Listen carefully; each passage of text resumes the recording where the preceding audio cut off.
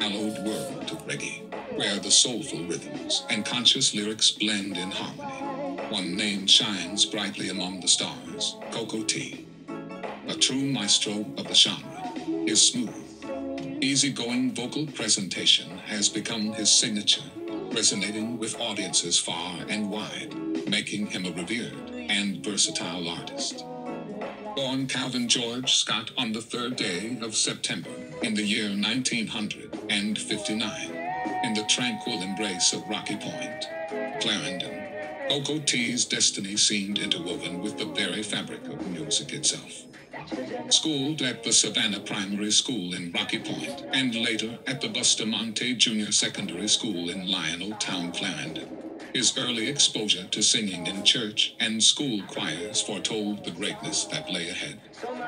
In the tender age of just 14, Coco Tea made his foray into the music world with his debut song, Searching in the Hills, an earnest endeavor that, alas, didn't find immediate financial success.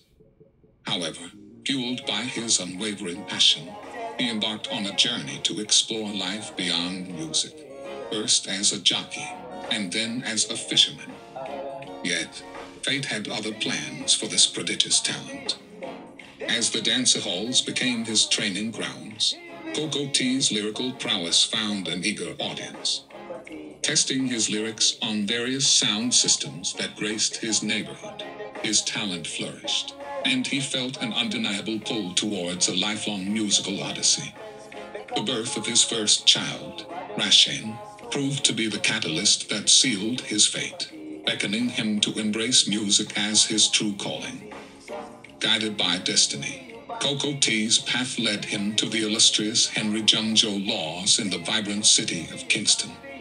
Their union bore the fruits of unforgettable anthems, with songs like Who's the Champion and Rockin' Dolly garnering immense success.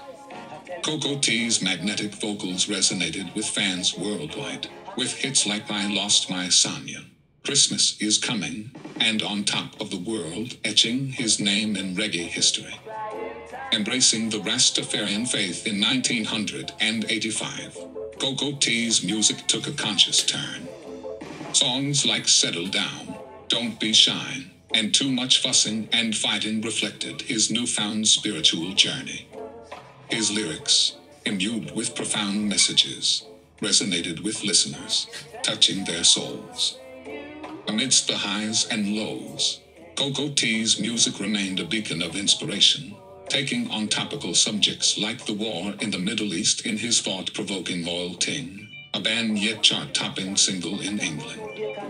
His sixth album, aptly named Authorized, continued to captivate audiences with hits like Mayday on the Way, Woman Hunted, Wanted, and Evaluation.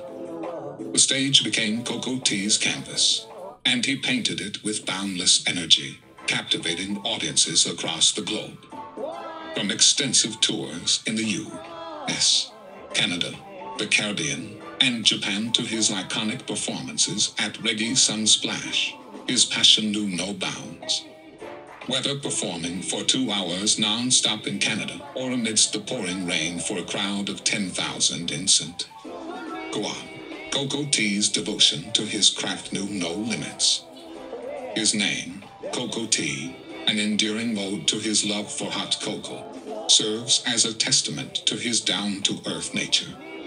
He finds his inspiration in Jah, aiming to be a beacon of learning and inspiration like the great Bob Marley.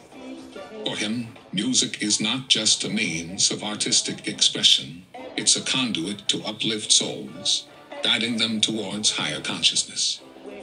As he once remarked, if one of my songs can be remembered and or quoted, and be of inspiration or guidance to anyone, then I shall be forever happy with my contribution musically. Tonight, as we honor the legendary Coco Tea with this Lifetime Achievement Award, let us celebrate the musical legacy of this reggae icon, whose melodies continue to resonate with the hearts of millions.